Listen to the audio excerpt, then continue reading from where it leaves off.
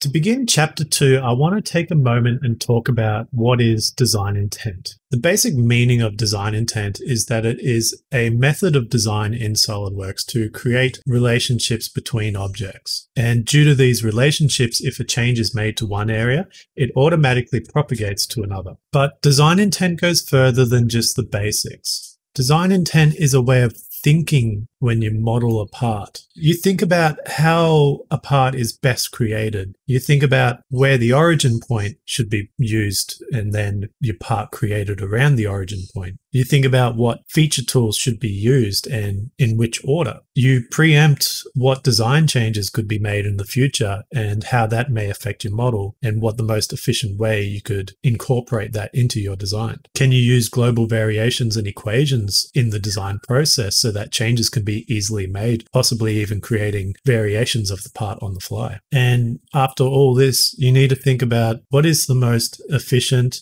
and effective way of modeling this particular part in SolidWorks. That is what design intent is in SolidWorks, and it is something that becomes over time through experience. You'll begin to understand all these little things without even really thinking about it, and it will become an automatic process whenever you begin a new part in SolidWorks. To give an example of some really basic design intent, we're going to use this image on the screen. Let's imagine that a designer has given us a sketch of this part and he says, I want you to recreate this in SolidWorks, but there is one main condition you need to consider. And so the designer says that this cutout through the center here, it's always going to be based around the center of this part. So he says, keep that in mind, draw it as as it is now, as I've given it to you, but just keep in mind that there may be some changes in the future of that cutout in the middle. And it's either going to be, maybe it's going to be in the center or the other side of the part, but just do the model as quick as you can so that we can make those changes in the future. And so you go back to your desk and you begin modeling this part. So here I have the basic extruded rectangle already created, and we need to create this cutout on the side here.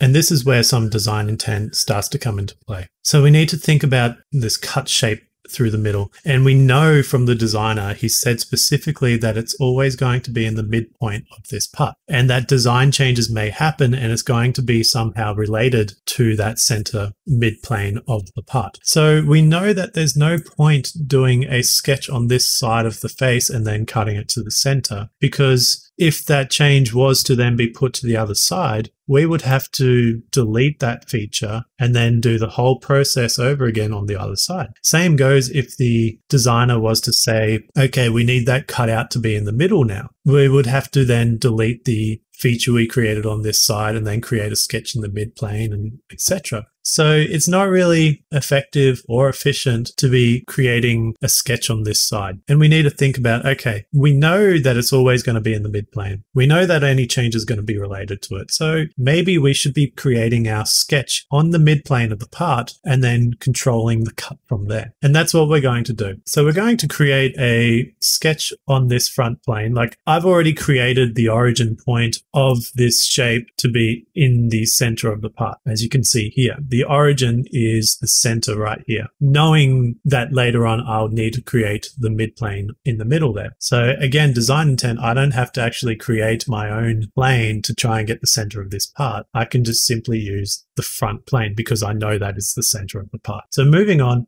we create the sketch on that part and we're just going to draw that basic shape so we know it goes across, comes down, comes back up, and then finishes there. We can exit our sketch, go back to our isometric, and we can then cut the part. So we want to flip the direction and we can probably just say up to next and then cut the part. And there you go. We have our first design created for our designer and we give that part to him. Next week, he comes by and says, okay, we need that cut on the opposite side now. We don't want it this side. We want it on the right side. And because of our design intent, we know that all we need to do is edit the feature that we created originally. So we go, okay, no problem. We go to this feature, we edit feature and we just flip direction, click OK, the part's done. We give that to the designer. He's happy. Took us, you know, no more than 10 seconds. Otherwise, we would have had to delete the feature, create a sketch on the other side, etc. That is design intent. It's knowing, it's preempting these changes that could happen. So now the designer comes back, he says, we just need to cut through the middle now. And it's going to be 30 millimeters wide. I go, okay, no problem. So we can go to edit feature.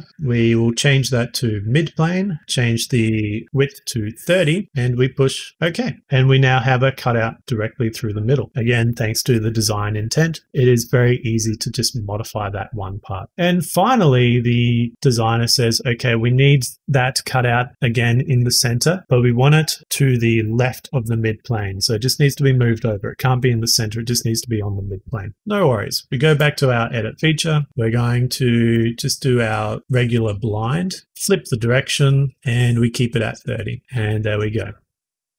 So as you can see, because we thought about where those changes are going to be taking place, knowing that it's all going to be based around the mid plane, that's where we started our feature and our sketch so that we could create those changes without having to delete features and then adding new ones or anything like that. We could control it all from the one feature, make the changes super, super simple and just do it on the fly like that. So again, design intent comes with experience. It is something you just get familiar with. And after a while, you don't even think about these little details. You simply know the best way of doing something, or at least probably the best way of doing something, and just going straight into it. You don't have to think about those small, minor details every time you design something. But until you get to that point, there are some great resources available to help you with your design intent in SolidWorks. First, take a look at my part model challenges. This is where I find some interesting working drawings online and then try and recreate the parts in SolidWorks. This gives you a step-by-step -step process to how I personally would create these parts as a SolidWorks professional and gives you some really interesting information along the way. Another resource to use is to jump onto YouTube and search for the SolidWorks Model Mania challenges. This is a big series. I think there's maybe 15 or 20 videos of professional SolidWorks challenges. The Model Mania is a competition that is held by SolidWorks each year, and they take a really complex part, or what may seem simple that is quite complex once you start to think about it, and in stage one, you have to create that part as quick as you can. After part one is done, they will show you a design change that needs to be done. And you then have to make that change and model it as quick as you can. And so the winner is whoever can do it the fastest. These videos showcase some amazing SolidWorks drafting uh, from very professional SolidWorks users. So I really recommend once you become a bit more familiar with SolidWorks and you get the hang of just basic modeling, definitely check out the Model Mania videos because it will give you some really good tips on how to create complex parts in SolidWorks and some really good design intent information on how they do that as well.